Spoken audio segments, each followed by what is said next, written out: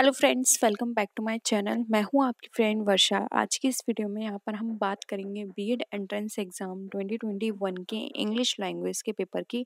आप लोग बहुत टाइम से रिक्वेस्ट कर रहे थे कि इंग्लिश लैंग्वेज का पेपर डिस्कस किया जाए तो हम आज इसको डिस्कस करेंगे। बहुत ज़्यादा डीप में इसको डिस्कस नहीं करेंगे। हम कोशिश करेंगे कि आपको मैं एक तरह से पेपर प्रोवाइड करा दूँ, जिससे आपको एक आइडिया लग जाए कि आपके एग्ज़ाम में किस तरह का पूछा गया था। 2021 में और जिससे आप अपने 2022 की तैयारी कर पाएँ, ठीक है? देखिए, सबसे पहले आपको यहाँ पे ऑप्शंस दे रखे हैं फोर ऑप्शंस उसके अकॉर्डिंग आपको फिल द ब्लैंक्स फिल करना है, ठीक है? There was a time when I dash stay up till very late अब देखिए, ये किस तरह का सेंटेंस दे रखा है? ये पास्ट में है तो देखिए, ये पास्ट का नहीं है, ये पास्ट का नहीं है, ये नहीं है। और I can stay up till very late तो यहाँ पर ये, यहाँ पे अगर हम ऑप्शंस के अकॉर्डिंग या सेंटेंस के अकॉर्डिंग भी आप जाएँ, क्योंकि ये पास्ट में है सेंटेंस तो यहाँ पे हमारा कोड फिट बैठेगा। ये हो जाएगा हमारा there was a time when I could stay up till very late इससे याद रखिए, ये वॉज़ दे रखा है, यानी कि ये सेंटेंस हमारा किसमें है? पास्ट टेंस में है, ठीक है? नेक्स्ट क्वेश्चन पर आइए। Your car is fine now there was a problem with the gears but we dash it had fixed have fixed has been fixing या फिर फिक्स अगेन सेंटेंस यहाँ पर देखिए पास्ट में है प्रेजेंट में है, क्या क्या दे रखा है?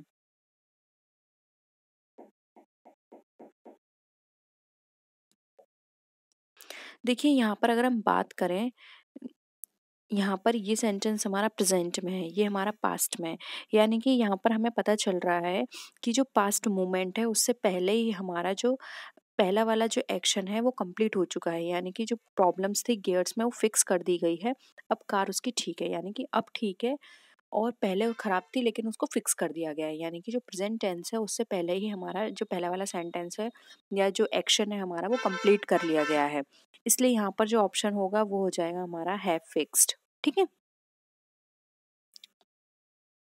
नेक्स्ट है once a time there was a beautiful princess बताइए। आपको पता है वंश के साथ हमेशा क्या आता है? वंश के साथ हमेशा अपॉन आता है, इसमें ज़्यादा डिस्कस करने वाली बात नहीं है, ठीक है? The car van dash the tunnel, बताइए अबव विलो थ्रू या फिर ओवर टनल के किस तरह से जो कार है वो गुजरेगी? देखिए, यहाँ पे टनल की बात करें, टनल के बिलो, टनल के नीचे नहीं जाएगी, ये कट गया। ओवर नहीं होगा अवव नहीं होगा। टनल के ऊपर कार नहीं चलते। टनल के थ्रू होके गुजरी, यानी एक साइड से दूसरी साइड जा रही है वो टनल से, ठीक है? इसलिए यहाँ पे ऑप्शन सी, थ्रू हमारा राइट आंसर हो जाएगा, the car went through the tunnel, ठीक है? नेक्स्ट क्वेश्चन है, we located the key dash the lock. Key के संग क्या आता है? प्रपोजिशन है, बताइए। लॉक और की का आपको रिलेशन यहाँ पर बताना है तो इसके लिए बेस्ट होगी हमारी proposition for, we located the key for the lock, यानी कि लॉक के लिए हमने की लोकेट कर ली, ठीक है? नेक्स्ट आइए, अब यहाँ पर आपको अपोजिट वर्ड बताने हैं। जल्दी जल्दी बताइए। जल्दी पढ़िए, जल्दी आंसर करिए। आप लोग बहुत देर देर में आंसर करते हैं।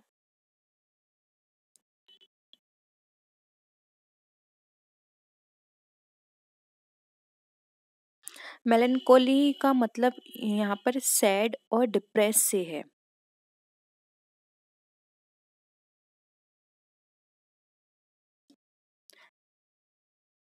देखिए डायरेक्ट मैं बता देती हूँ इसका आंसर हो जाएगा ए। इसका मतलब होता है हैप्पी या फिर आ, आपके पास कोई हाई स्प्रिट है ठीक है?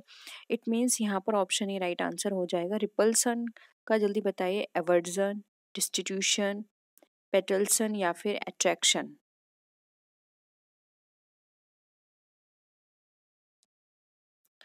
रिपल्सल का मतलब होता है किसी चीज़ को रिजेक्ट करना। और अट्रैक्शन का मतलब क्या होता है? आपने कोई भी चीज़ एक्सेप्ट की है। ऑप्शन डी, राइट आंसर हो जाएगा। एसवेज का क्या होगा? मिटिगेट, इनफ्लेम, इनहिबिट या फिर एवर।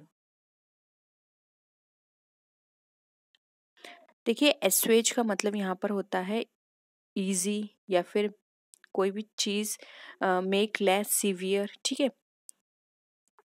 और इनफ्लेम का मतलब यहाँ पर हो जाएगा टू मेक मोर वॉयलेंट तो यहाँ पर एसवेज का मतलब हो जाएगा इनफ्लेम ठीक है? नेक्स्ट है, अब आपको यहाँ पे सिमिलर वर्ड्स बताने हैं। डिस्पोस्ट का क्या होगा? जल्दी जल्दी आंसर करिए डिस्पोज्ड का।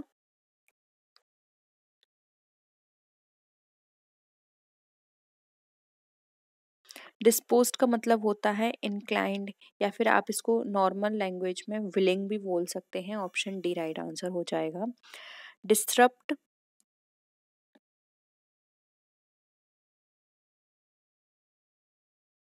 डिस्टरप्ट का मतलब क्या होता है? किसी चीज़ को स्टॉप करना या फिर किसी प्रॉब्लम का कारण होना तो इसका क्या हो जाएगा? इंटरप्ट ठीक है? इंटरप्ट नेक्स्ट है डिसिपेट डिसिपेट का पहले मतलब बताइए।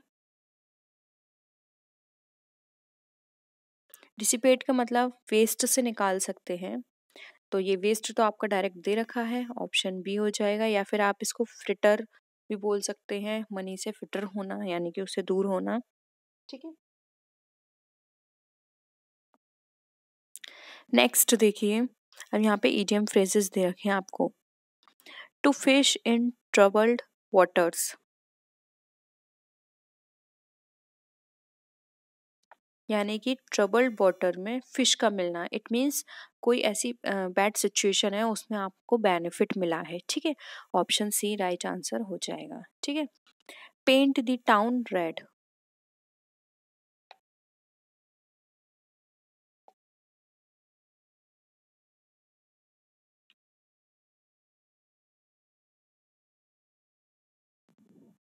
paint the town red का मतलब क्या है?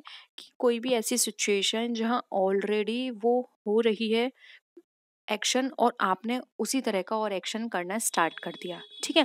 तो इसका मतलब क्या हो गया कि पब्लिक प्लेस आपको पता है पब्लिक प्लेस में पहले ही बहुत शोर होता है। अब आपने वहाँ पर और ज़ोर ज़ोर से सेलिब्रेट करना स्टार्ट कर दिया तो ऑप्शन सी हो जाएगा to celebrate noisily in public places ठीक है? नेक्स्ट है The fair and square policy of the chairman of the committee has made him very popular among the residents of the town.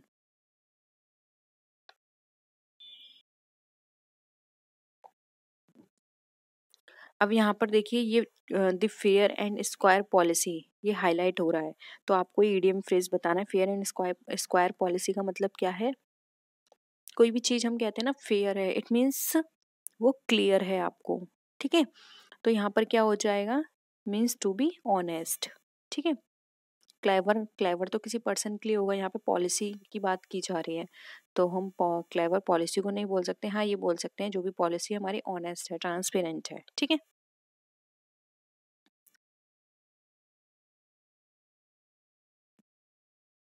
Next है, somebody has stolen my watch अब आपको यहाँ पर इसका passive और एक्टिव वॉइस बनाना है, ठीक है? बताइए इसका पैसिव वॉइस क्या होगा एक्टिव वॉइस दे रखा है। सबसे पहले तो माई वॉच लीजिए, क्योंकि पहले लास्ट से लेते हैं। माई वॉच हैज़ दे रखा है। तो हैज़ के संग क्या आता है? बीन तो my watch has been stolen ठीक है? आप ये लिख सकते हैं।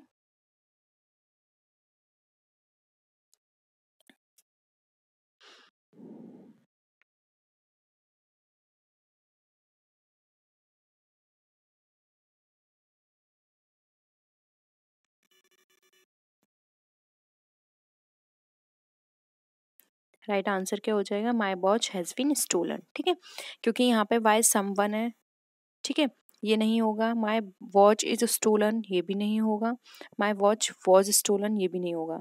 यहाँ पर हमारा बिल्कुल सही आंसर आ रहा है my watch has been stolen. ये इसका एक्टिव वॉइस हो जाएगा, ठीक है? नेक्स्ट है all the dinner had been eaten before they finish the conversation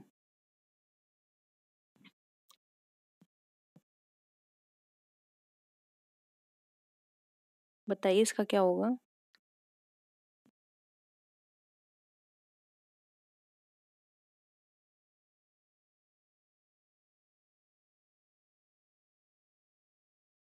देखिए, लास्ट में दे दे रखा है, आपको पहले दे उठाना है। दे हम्म, बनाइए। They had eaten all the dinner before they finish the conversation. ये हो जाएगा इसका करेक्ट आंसर ठीक है? Option D they had eaten all the dinner before they finished the conversation ठीक है? नेक्स्ट है they taught him French and gave him a dictionary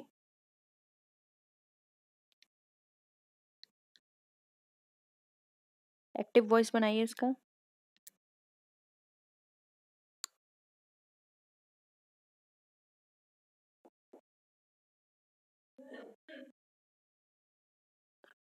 He was taught French and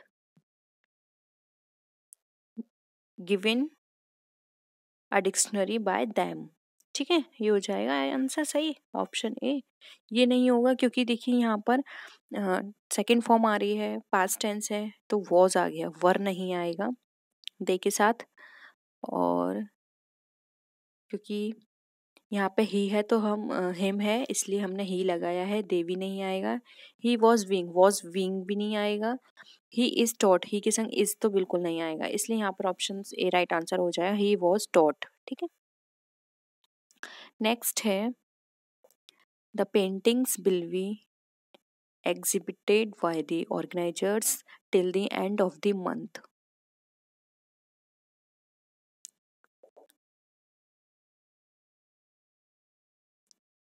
करिए इसका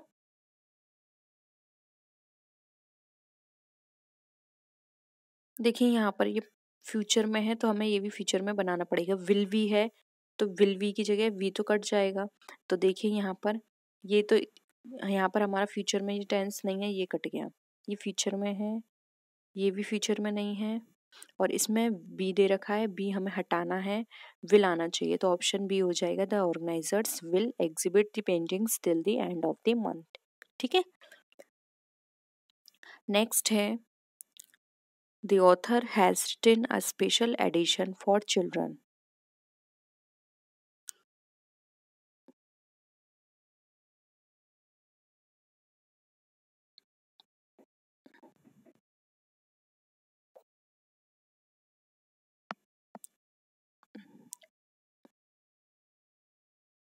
बताइए।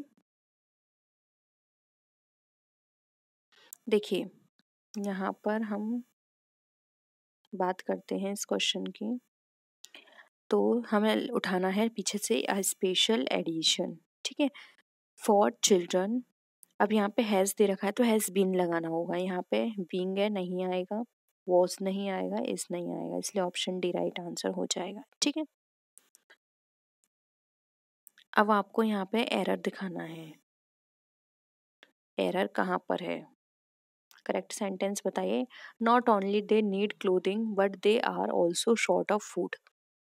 बताइए, एरर है या नहीं है?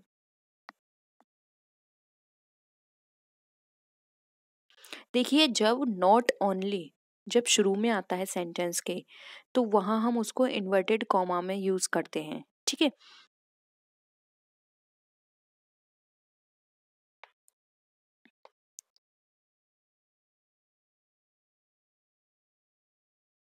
क्योंकि वहाँ पर हमारी वर्व क्या हो जाती है, सब्जेक्ट से पहले आ रही है। तो यहाँ पर जो हमारा प्रेजेंट टेंस है, वहाँ पर इसके अकॉर्डिंग अगर हम बात करें तो ऑप्शन बी राइट आंसर हो जाएगा। Not only do they need, ठीक है? नेक्स्ट आइए। The ground was wet outside when I got up in the morning. I has been raining all in the night.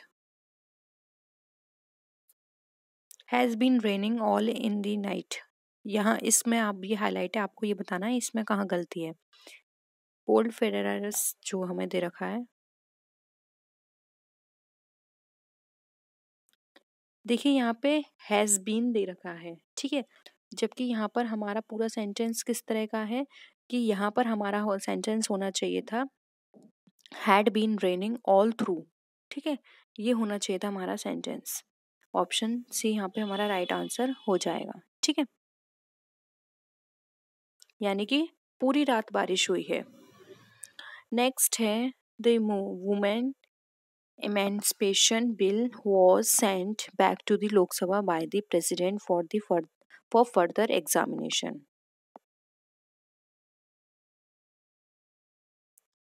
देखिए फर्दर स्क्रूटनी यहाँ पर गलत जो सॉरी फर्दर स्क्रूटनी जो है वर्ल्ड ये यहाँ पर सही होगा, क्योंकि स्क्रूटनी का मतलब है, आप किसी भी चीज़ की क्रिटिकल ऑब्जर्वेशन कर रहे हैं, ठीक है?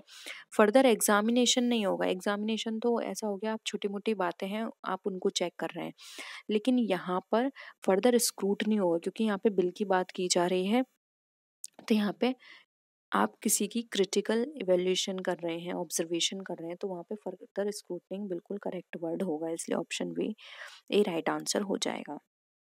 नेक्स्ट है the novel which he wrote in two months quickly become popular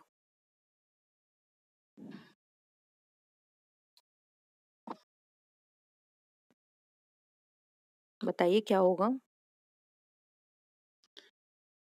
the novel यानी कि वो नॉवल जो कि उसने पहले लिखी थी टू मंथ्स पहले क्विकली पॉपुलर हो गई। तो सेंटेंस तो बिल्कुल सही लग रहा है विच है he wrote in two months quickly become popular बिल्कुल सही है नो इम्प्रूवमेंट ठीक है?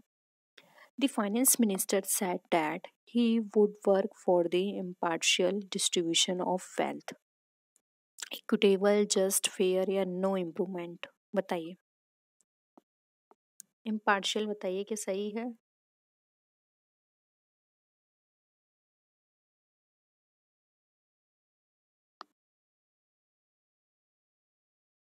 देखिए, यहाँ पे इम्पार्शियल की जगह जो राइट वर्ड होगा, वो हो जाएगा इक्विटेबल यानी कि जो मिनिस्टर ने कहा कि वो जो इक्वल डिस्ट्रीब्यूशन है हेल्थ का, उसके ऊपर काम करेंगे, ठीक है? तो यहाँ पे इक्विटेबल करेक्ट होगा इम्पार्शियल की जगह, ठीक है? When I have been seen such a mess sorry when नहीं है नेवर है never I have seen such a mess बताइए।